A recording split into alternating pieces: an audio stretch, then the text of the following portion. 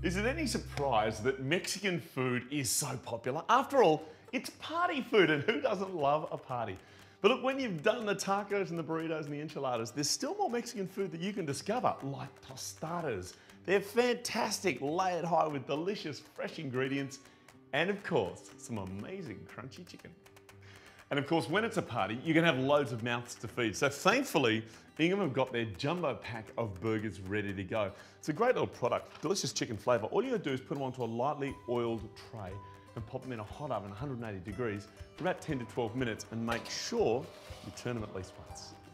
And while they are baking, we'll make ourselves the tostadas. Now, tostadas just a fried tortilla, but you need to get the right kind. These ones are made from corn, not wheat, and they might be labelled as being for enchiladas. Either way, just a little bit of veg oil in a pan, and you fry them for about a minute or so on each side until they're golden and crunchy.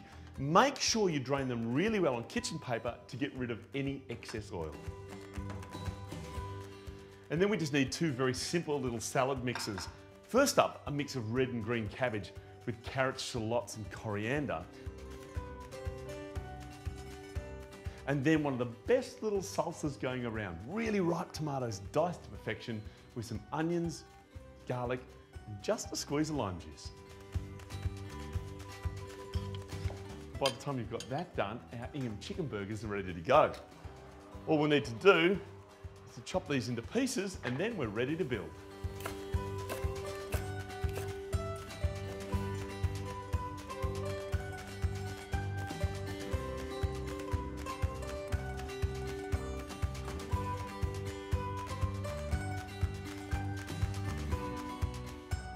So much colour, flavour and brilliant texture.